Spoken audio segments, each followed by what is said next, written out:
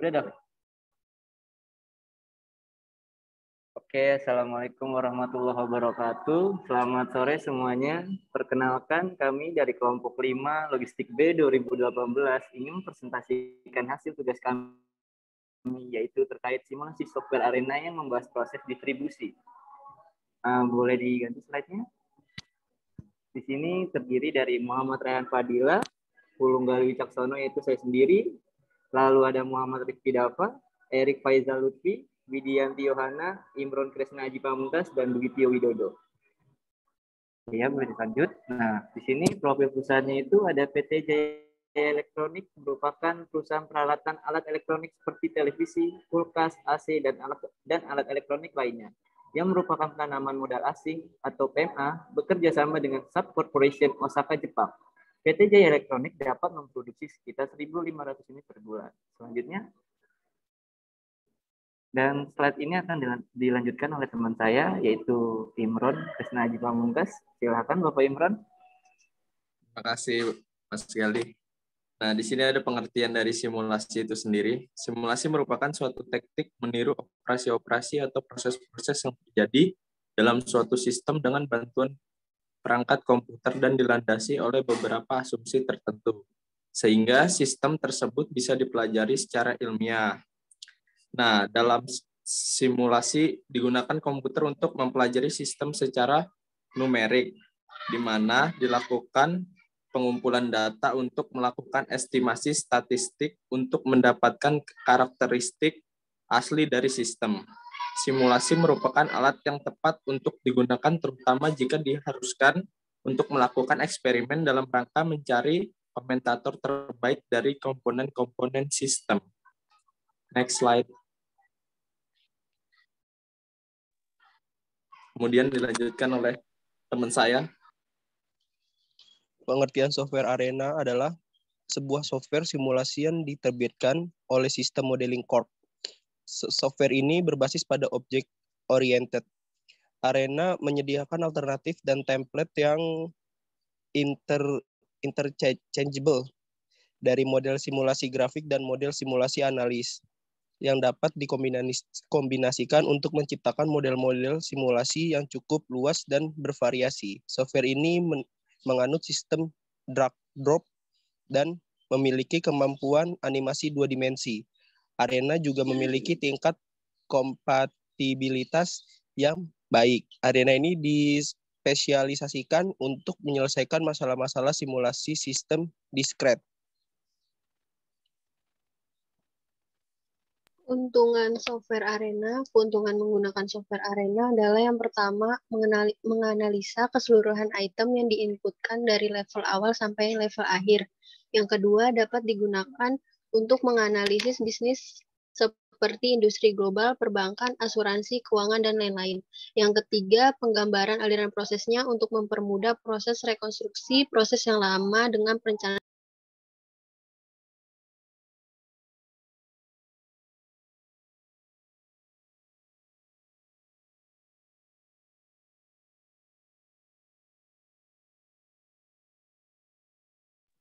Tes, tes.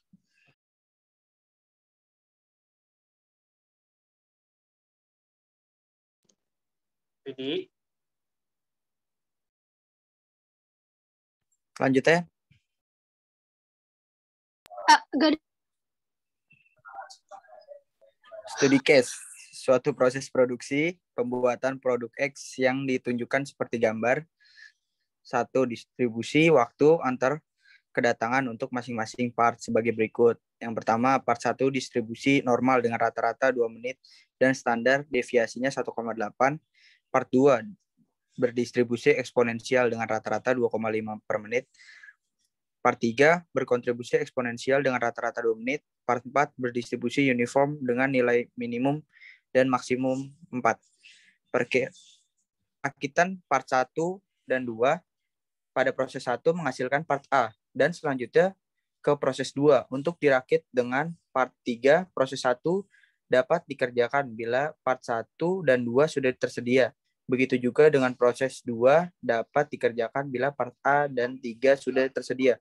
Proses 2 menghasilkan part B yang selanjutnya ke proses 3 untuk dirakit dengan part 4. Produk yang sudah selesai dirakit di proses 3 selanjutnya diperiksa. Bila sudah sesuai dengan produk akan dilanjutkan ke proses 4 untuk finishing. Tapi bila produk tidak sesuai maka kembali ke proses 2 untuk dikerjakan ulang. Peluang produksi sesuai dengan sesuai adalah 97% dan tidak sesuai 3%. Distribusi waktu pengerjaan di setiap proses adalah sebagai berikut. Lalu selanjutnya ada distribusi waktu pengerjaan di setiap proses adalah sebagai berikut. Yang pertama ada proses satu perakitan part 1 dan 2 berdistribusi normal dengan rata-rata 2,2 menit dan standar deviasi 1,3. Setelah yang B-nya, proses 2 perakitan part A dan 3 berdistribusi normal dengan rata-rata 2,5 menit dan standar deviasi 1,8. Lalu selanjutnya yang C, proses 3 berdistribusi uniform dengan nilai minimal 1 menit dan maksimal 3,8 menit. Selanjutnya ada D, proses 4 berdistribusi gamma dengan nilai A minus 1,8 dan B 2 minus 2. A.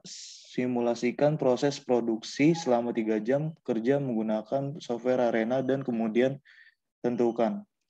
Pertama, jumlah produk jadi di, yang dihasilkan selama 3 jam. Yang kedua, beberapa rata-rata work in proses untuk part 1, 2, 3, 4, A, dan B.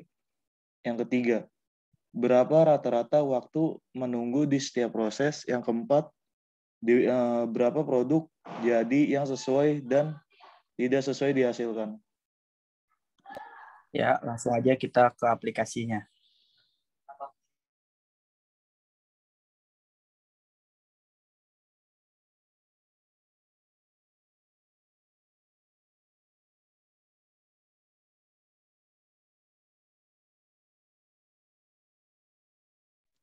Ya, berikutnya di sini saya akan menjelaskan tentang simulasi atau tutorial cara membuat uh, arena ini. Yang pertama, kita di sini klik discrete processing. Lalu kita pilih yang create ini, lalu taruh di sini nantinya, di kedatangan part 1, part 2, part 3, dan part 4.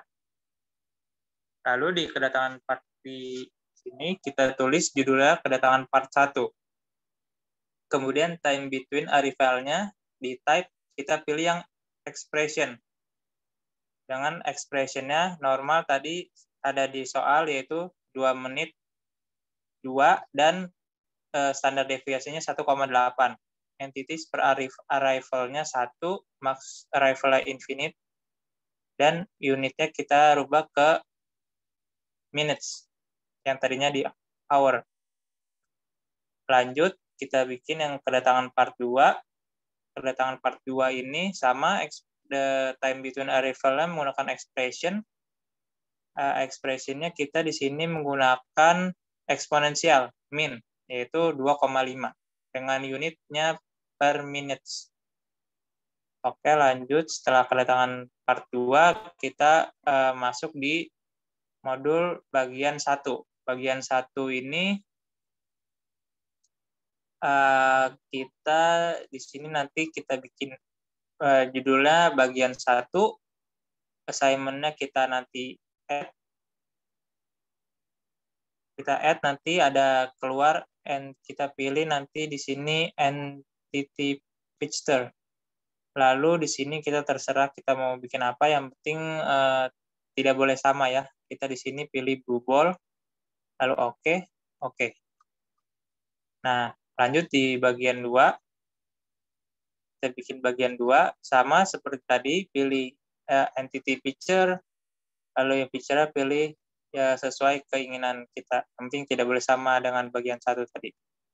Oke, lalu uh, terus kita konekkan pakai ini dari kedatangan satu ke, ke bagian satu dan kedatangan dua ke bagian dua.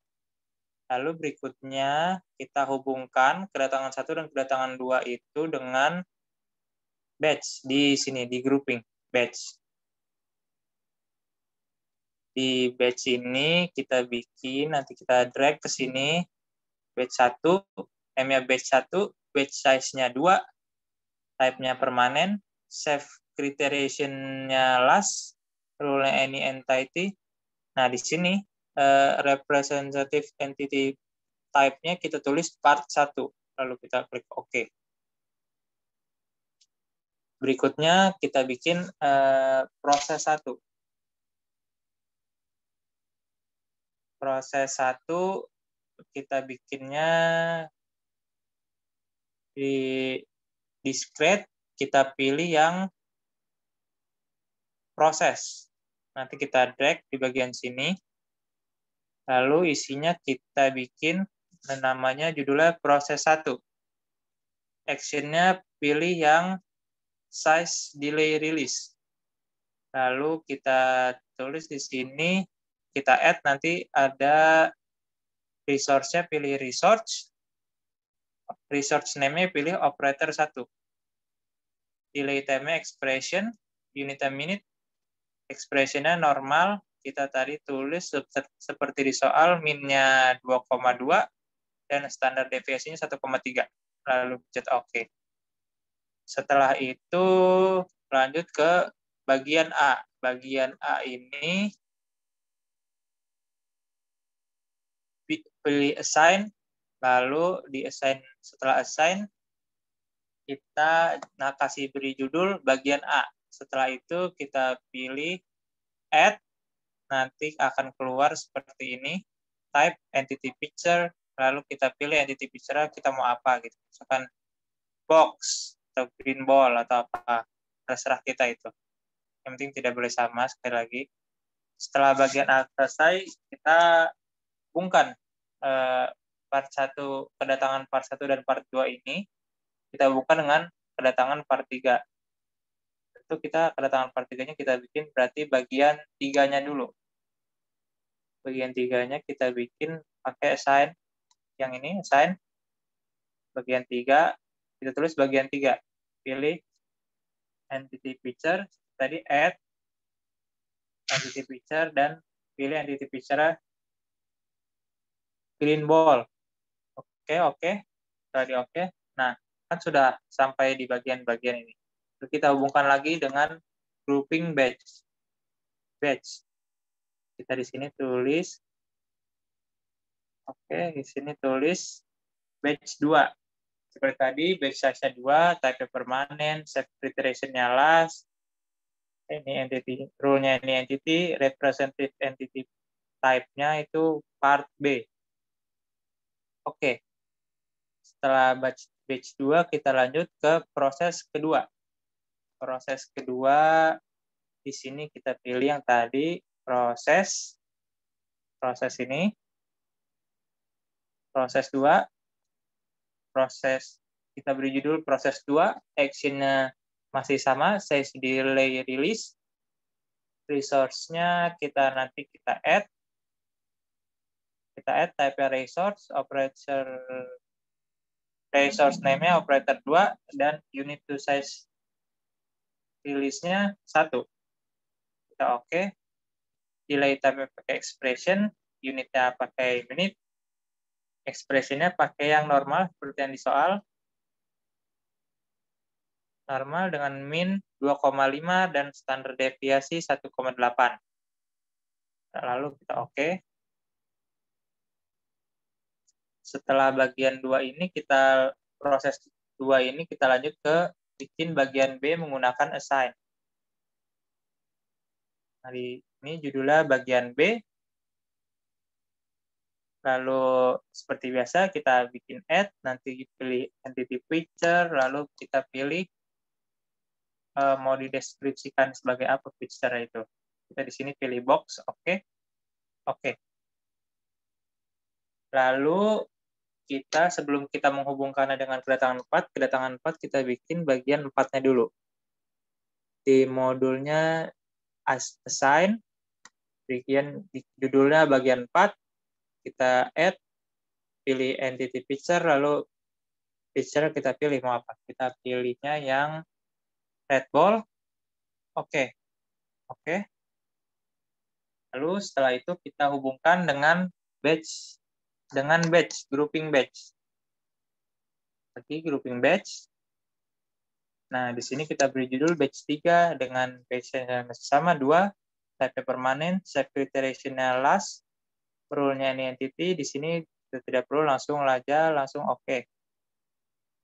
Lanjut di proses 3. Nah, proses 3 ini tadi kan di discrete processing-nya kita ambil yang proses. Nah, di proses 3 ini kita beri judul proses 3 action yang masih sama, size delay release, resource-nya kita nanti kita add, pilih resource name-nya operator 3, unit to size-nya masih satu. Dengan delay time expression, unit per minute, expression-nya uniform, seperti yang di soal. Uniform dengan minimal tadi satu dan maksimalnya 3,8. Lalu oke. Okay. Setelah itu ada inspeksi atau pemeriksaan. Nah, di inspeksi ini kita bikin yang oke okay, yang decision decide. Nah, ini. Tadi presentasi betulnya inspeksi judulnya two way by change. Presentasi betulnya tadi seperti di soal 97%. Lalu oke. Okay. Setelah itu finishing, proses finishing. Nah, proses finishing ini pakai yang discrete proses. Lalu kita tulis proses 4 finishing, size delay release, klik add, nanti muncul seperti ini, pilihnya resource name-nya operator 4. Expression-nya, delay type-nya expression, unitnya per minute, ekspresinya di sini gamma seperti yang di soal, betanya 2 dan alfanya 1,8. Oke, nah, finishing kita bikin ini namanya dispose. Dispose itu artinya rangkaiannya telah selesai. Kita beri nama produk selesai. Oke, setelah itu kita di uh, run kita bikin di eh salah. Kita di di animate klik clock nah kita atur starting time-nya tadi pukul 2 siang atau 14 nanti kita klik OK. Nanti kita taruh di sini pukul 14 siang Nah, ini kita pilih variabel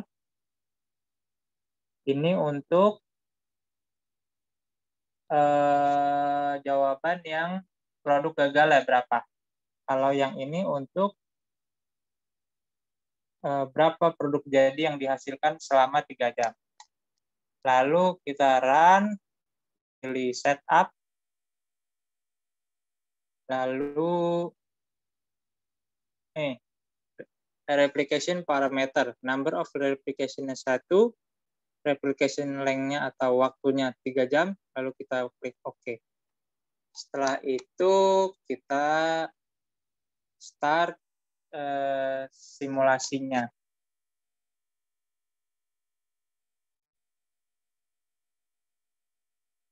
Ini gini, kita play.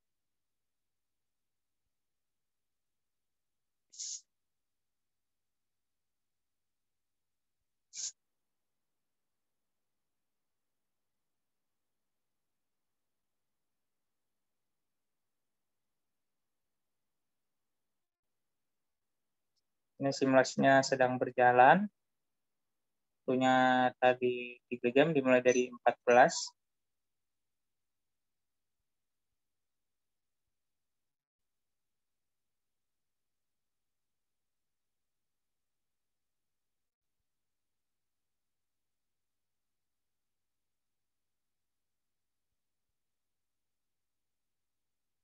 Ya, selesai. Berarti di sini kita sudah menemukan uh, produk gagalnya sebanyak dua selama tiga jam itu dan produk produk jadinya sebanyak 60 60 buah. Ya, terima kasih. Sekian penjelasan tentang simulasi ini. Kurang lebihnya mohon maaf. Bila itu Wassalamualaikum warahmatullahi wabarakatuh.